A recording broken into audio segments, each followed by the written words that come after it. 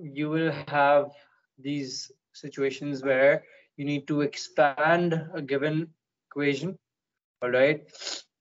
Or where you'll have to factorize a given equation, okay? Now, what do we mean by expansion? What do we mean by factorization? Let's talk about that. So this is the, this is actually the part that you guys actually need to work on, okay?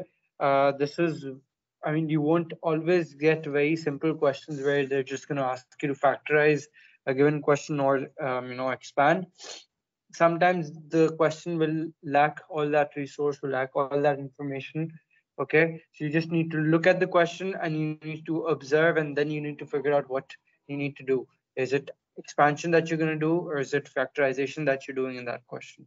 Okay, so let's talk about expansion first. Um, so what exactly is expansion or what uh, do you mean by expand? Let's write that down. So Okay, so expansion essentially basically means to remove or to solve the brackets that you have. All right, to remove or to solve the question that you have in hand. Okay, this is done, this can be done by the use of identities. So, um, yeah, so the identities are basically yeah. this thing that's right here that I've written. So it's a plus b whole squared. 2ab plus b squared. Okay. Let's see. Similar thing that you get is a minus b whole squared, which equals to a squared minus 2ab plus b squared. Okay. Now, this is obviously, I'm just telling you what identities are. I'm just explaining to you, um, you know, this is more of a shortcut method of expansion. Okay, now let's suppose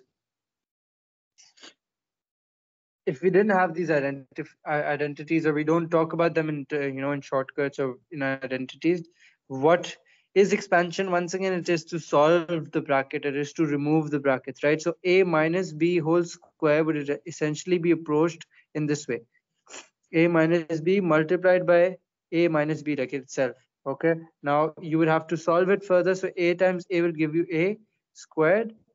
A times b would have given you minus ab okay?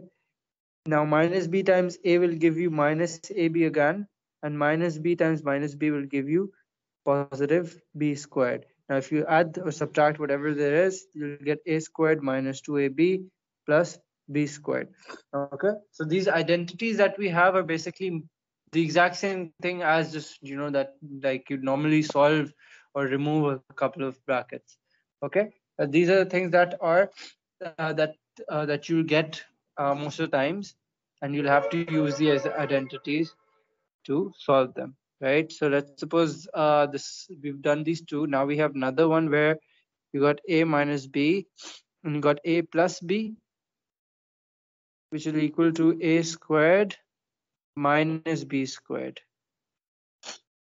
Okay, now um, let's talk about factorize.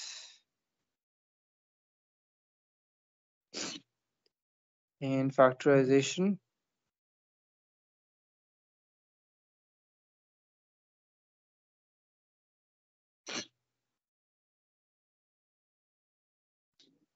Okay, so what does factorization mean? Factorization is essentially bringing in or introducing or, uh, you know, basically bringing in the brackets which are not there. Okay, so um, see, bringing in or introducing brackets. Okay, now this can be done by a couple of uh, methods. All right, now the first method that you have is the middle term breaking. Okay, so um, we got the middle term breaking method. All right, this is also referred as the when you're grouping terms method. Okay, we got the extraction of your common factors.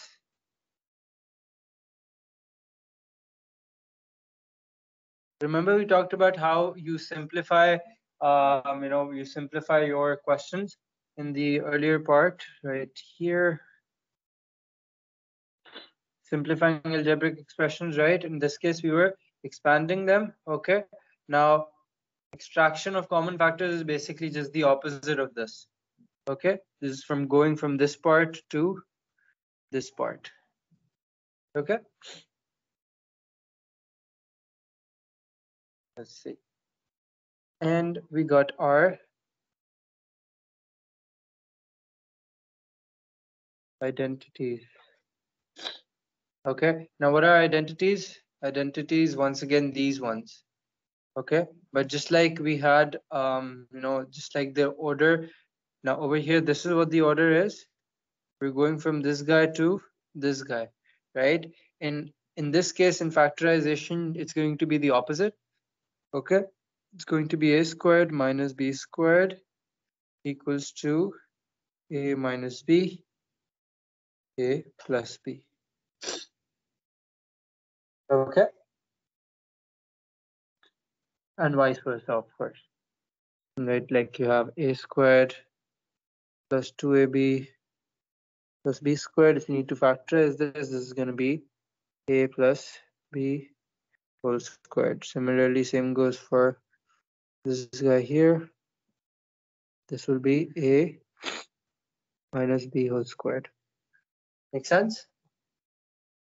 Okay, now we got a couple of questions uh, to do. Please try these out.